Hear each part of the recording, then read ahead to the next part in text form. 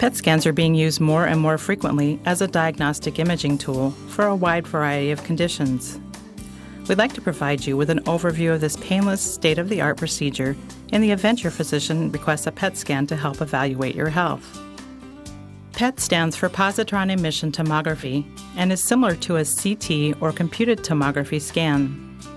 Like the CT scan, you'll be asked to lie on a table which will gently move you into an enclosed imaging device that looks like a donut.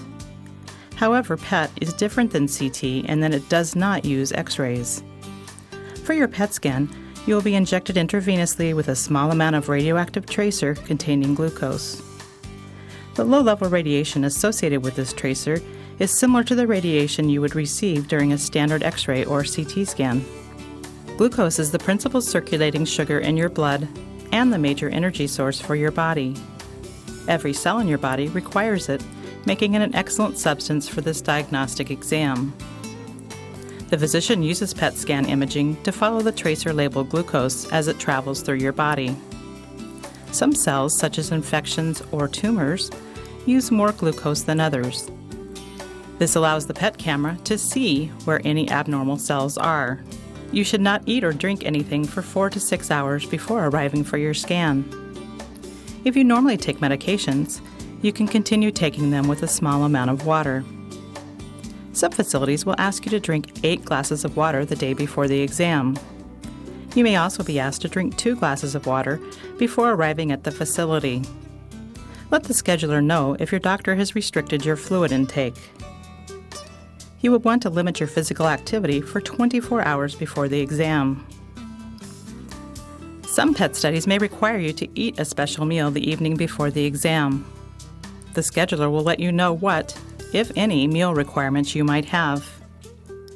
You'll want to wear comfortable clothing to the facility. If you have a prior CT, MR, X ray, or nuclear medicine study, you might be asked to bring copies with you the day of your exam. When you arrive in the department, you will be asked for a brief medical history, including any medication you might be taking. You might also be asked questions about your ability to lie still or to put your arms over your head.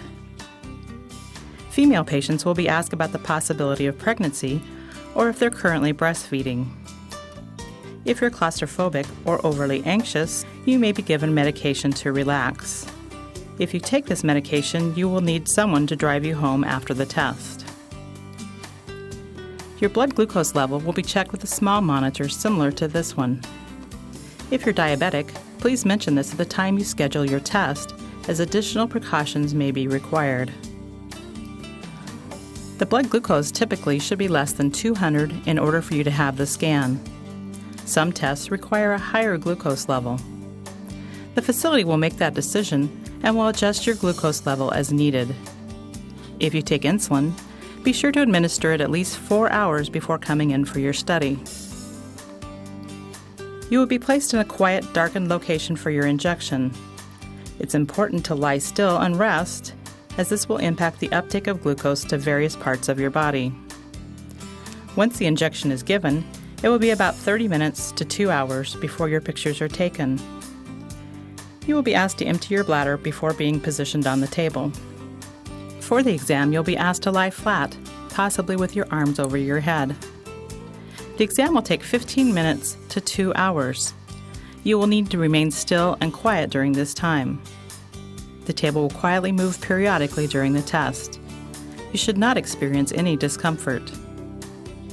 The pictures the camera takes will measure the amount of radiation being put out by the tracer that was injected into your body.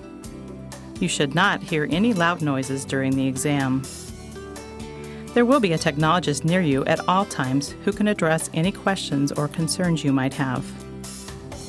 The equipment may also have a CT scanner in it, so you may also have a CT scan at the same time. You will remain on the same table for this scan. The physician at the department or facility will review the pictures before you leave to make sure that he or she has all the images needed to interpret your scan. Overall, please plan to be in the facility for two to four hours. After the exam, you will not have any side effects and can eat normally. The results of your PET scan will typically be communicated to your physician within one to two days. If you have further questions regarding your PET scan, please talk to your doctor.